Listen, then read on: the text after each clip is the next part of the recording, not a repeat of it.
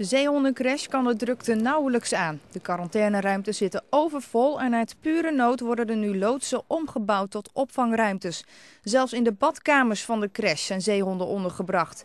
Leni het Hart maakt zich grote zorgen. Het is zo erg dat uh, gistermorgen op Ameland uh, belden ze van Rijkswaterstaat, Staatsbosbeheer. Die zijn dan allemaal onderweg, die krijgen telefoontjes.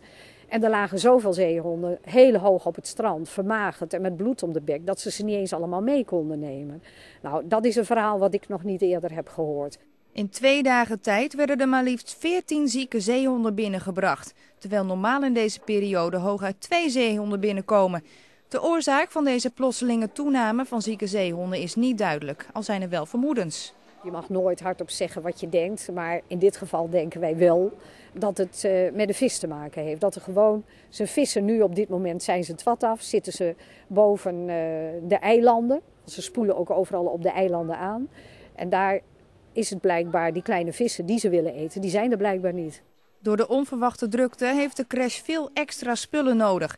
Door een oproep op de radio vanmorgen heeft de zeehondenopvang al 100 badkuipen aangeboden gekregen om de dieren in te verzorgen. Maar er is meer nodig. Handdoeken, want alle zeehonden liggen op handdoeken. En we hebben zoveel, ja nou, dat zijn de handdoeken die de mensen anders weggooien. Wij gebruiken ze een keer, soms wassen we ze nog en anders gooien we ze ook weg. En dan kunnen we weer nieuwe gebruiken.